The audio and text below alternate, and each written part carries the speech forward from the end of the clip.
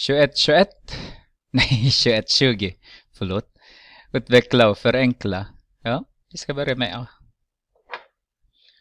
ja det här.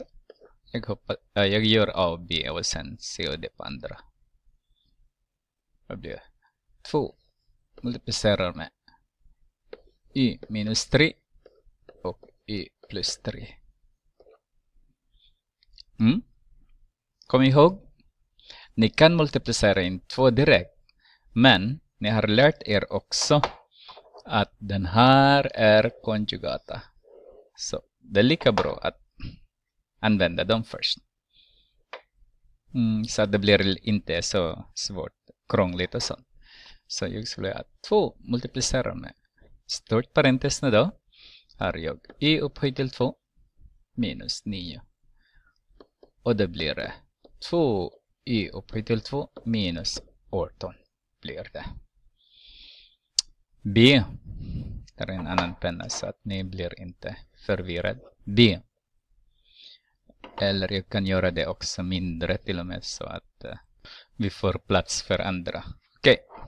då skriver jag 3 multiplicerar med x plus 2 upphöjt till 2. Eh, kvadreringsreglerna. Parenteser jag. Första plus 2 gånger 2 gånger x. Ah, nej, förlåt. Det ska vara x först. Så att ni ser det. Det är viktigt att ni ser det.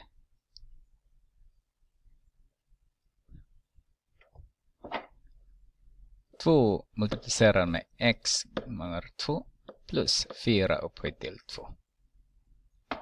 Jag ska ta bort den här.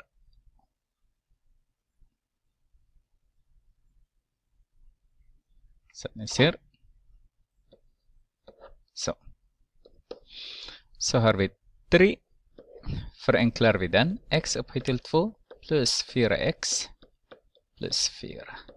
Så har vi 3x upphöjt till 2 plus 12x plus 12. Nej. Sen vi har c. Där är en annan. C. Blir det 2 x minus 4 upphöjt till 2 minus x upphöjt till 2 plus 10x. Så. Eh, är det säkert 2x upp, eh, 2 multiplicerar med x minus 4 i parentes upphöjt till 2 minus x upphöjt till 2 plus 10x. Okej. Okay. Så har vi är lika med stort parentes. Vi har den här kvadreringsregeln regler.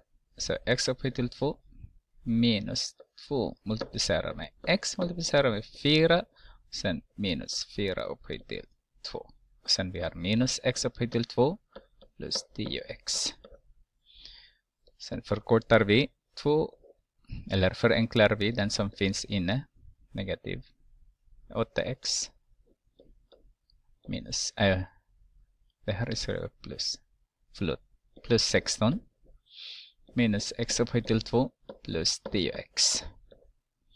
Så har vi den här parentes så har vi 2x upphöjt till 2 minus 16x plus 32 minus x upphöjt till 2 plus 10x. Så har vi den här och den där. Vad får vi då? Då får vi x upphöjt till 2. Och den andra har vi nej, en annan penna. Jag tar en annan penna. Den här och den här. Så har vi negativ 6x plus 32.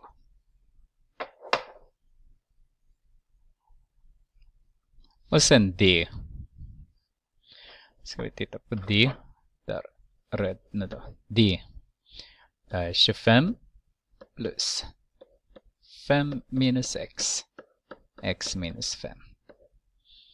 Är lika med 25 plus. Eh, den här är konjugat. Nej.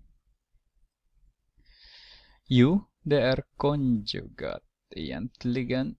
Eh, hmm. Hur ska jag göra den här? Nej, det är inte konjugat.